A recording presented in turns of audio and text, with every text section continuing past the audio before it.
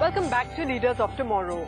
On our chemicals and petrochemicals special, this next story is of a company that's helping save the environment and also human lives. Its product range includes environmental and pollution control gases and medical application gases among others. Take a look.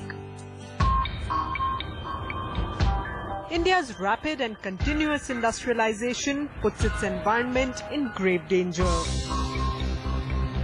Its industrial gas emissions play a huge role in causing pollution. One enterprise that enables companies to keep their gas emissions in check is Mumbai-based Chemtron Science Laboratory. Chemtron has created gas standards for clients in the petrochemical, power, cement and steel industries amongst others since 1992. I have earned money in my stock exchange. Uh, I have operated for five, ten years and I uh, get a good lot of money to invest in the industry. Through its plants in the industrial areas of Navi Mumbai and Khopoli, Chemtron manufactures pure as well as multi-component gases through processes like gas conditioning and filling.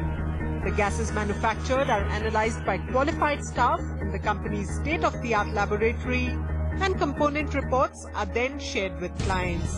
And in fact, the company prides itself on meeting its customers' needs through quick delivery. We take out the samples, uh, then samples will be injected into the gas chromatograph and that, that, will, uh, that will be analyzed for each component. So we check accordingly that uh, uh, the customer has given us specification, the, the, we can say the concentration of the each component. So we analyze for each component and we get the report.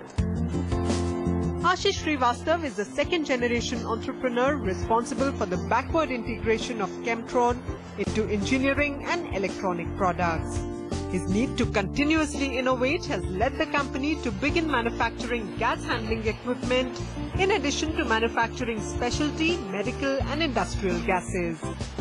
As far as the company is concerned, we have three broad verticals. Uh, the gases is the oldest one. Engineering is just a backward integration of what uh, we started doing. I mean, we, we started selling gases, so gases also required a lot of gas handling equipments and all that. So we started ma- manufacturing that uh, ourselves, and now it's become a vertical in itself.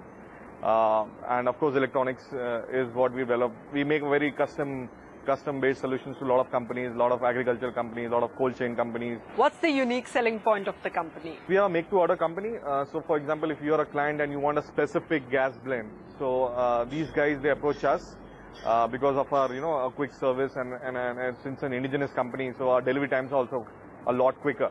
So, uh, if you talk about the uh, transactions that we do, we have close to around 10,000 invoices in a year.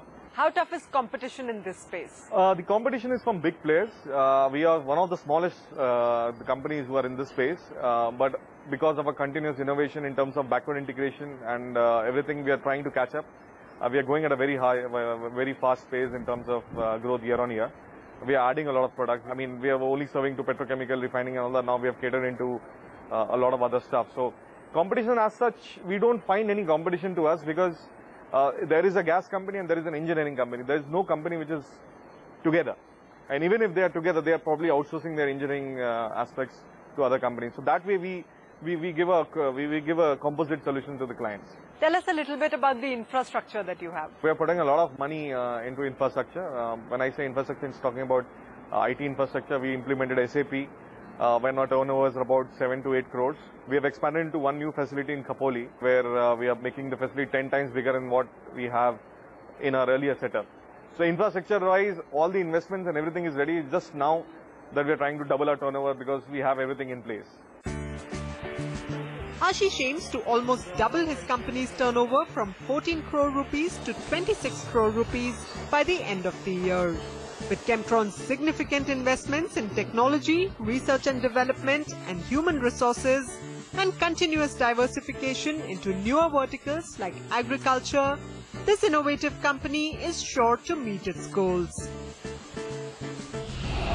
Chemtron, my advice to you would be on two counts. One, try to prune your number of products and markets that you are pursuing. For your size, I think you might be over diversified.